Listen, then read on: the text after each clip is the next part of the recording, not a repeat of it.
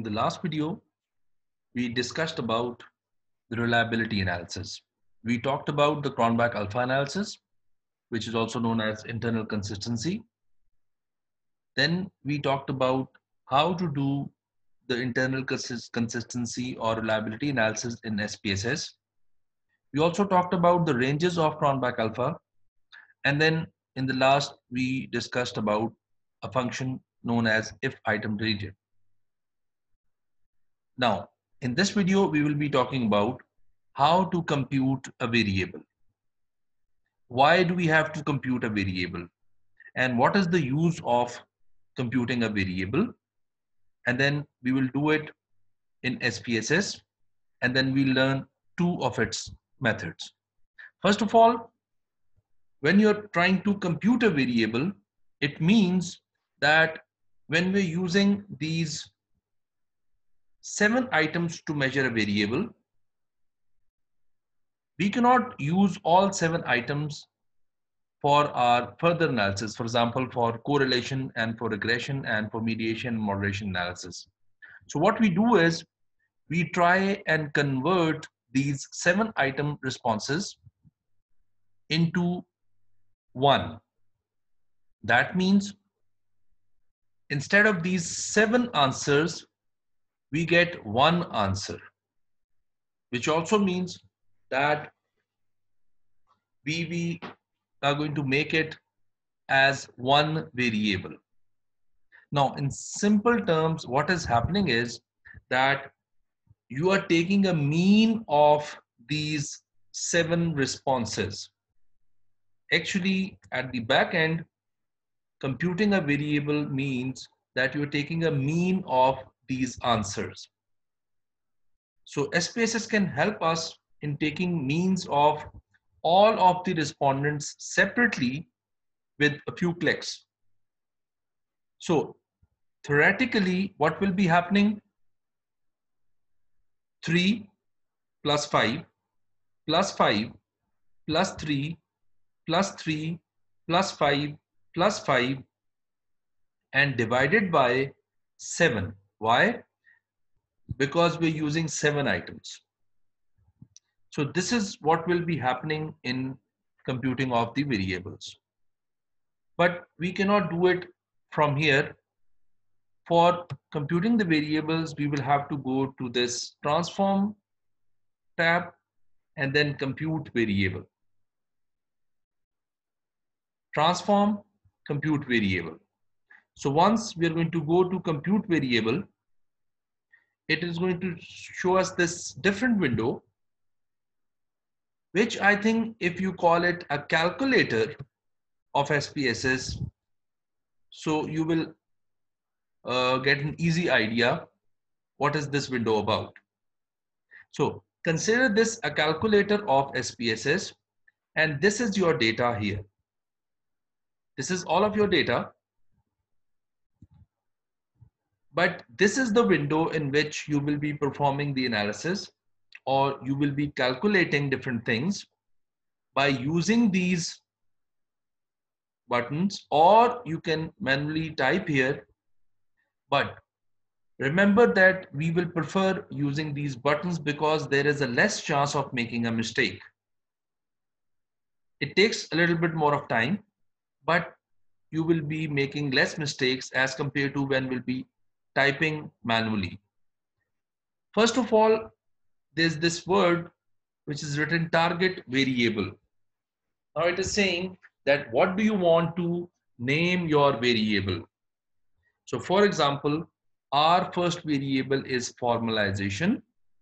So what we can do is we can write formalization here. This window has the same problem as we talked about about the variable view and the names that it doesn't take any illegal characters. So if I just give a space here and try to come out of this window, it is going to give me some issue that you cannot use the spaces here. So sometimes if it gives you this kind of issue, you can go to this label and type whatever you want to type here. formalization or if you want to go for a complete name. So for now, we'll only be going for the formalization name. Now, what do we have to do? As we talked about that, we will be taking mean of these seven items. So to do that, the first method is to do it with manually, which means you should be knowing what is happening. So let's put a bracket here and then just by clicking the double click, this thing is going to shift here. Now, put a plus sign and 2 plus sign F3 plus sign F4 plus sign F5 plus sign F6 plus sign F7. Now that's it. These were the seven items we were using to measure formalization and we want to compute a variable uh, or we want to take a mean of these seven items or the seven responses to one variable's items. Now make sure you go out of this bracket and put a division sign and then divide it by 7. So this is what is happening when you're trying to compute a variable. So just click OK. And now the other window will tell you what you actually did. So let's go now. What SPSS did for you is that it has created a new variable for you. Let's go to this variable view first and see here at the end of this last item, there is a variable known as formalization. So this is what which SPSS created on our computation demand. Now, if we go to this data view and move forward, here it has created the same variable which is known as formalization now what it did is that it took the mean of all the seven responses of formalization of the first questionnaire, then the second questionnaire, and then onwards up to 250th questionnaire. So it has taken all the means for us. And now we can say that we have created our variable or we have computed a variable. The next analysis this variable will be used and not the seven items. So again, if we go back to this compute variable, for example, reset, there is another method, method that you can use.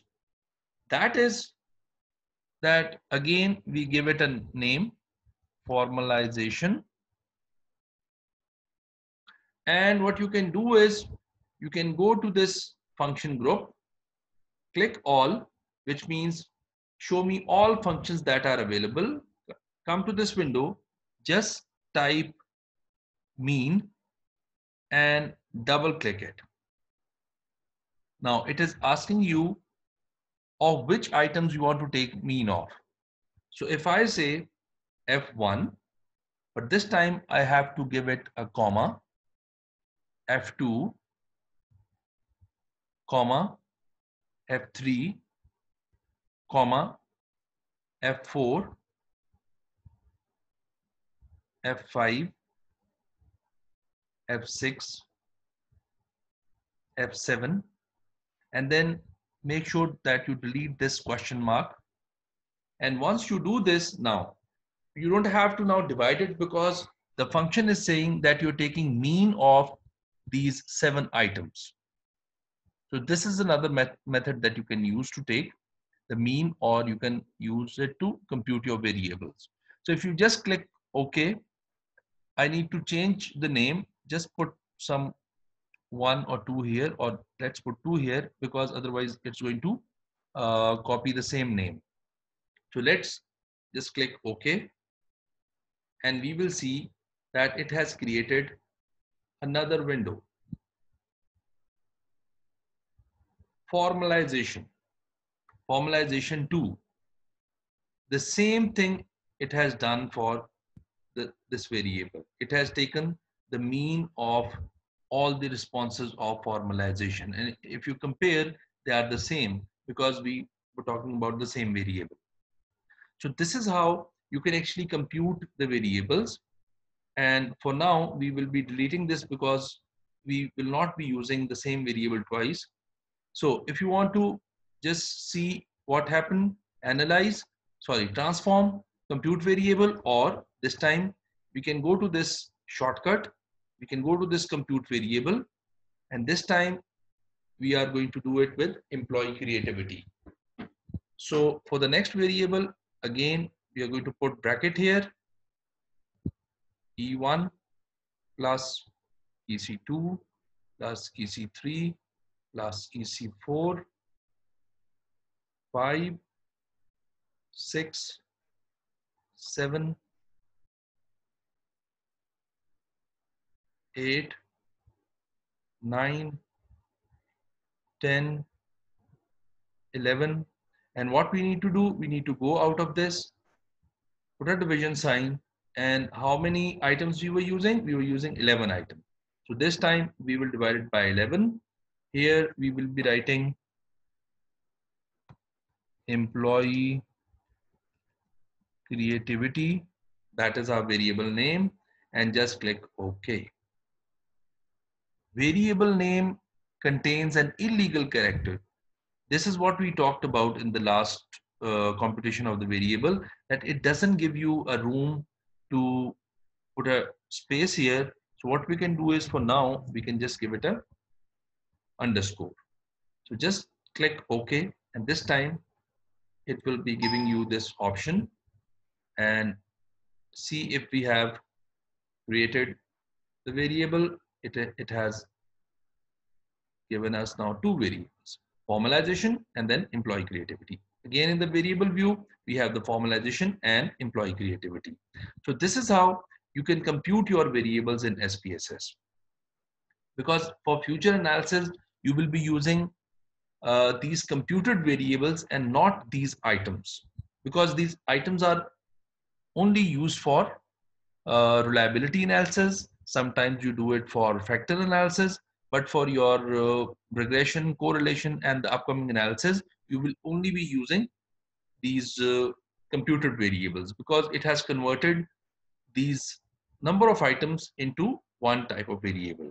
The same way, we can also go for computing number of other variables. So this is very important function before you go to your main data analysis. In the next video, uh, we will be talking about how to use these videos and how to use these values which have been computed to analyze our descriptive statistics and our correlation, regression, mediation, moderation, and other analysis. Thank you very much for now.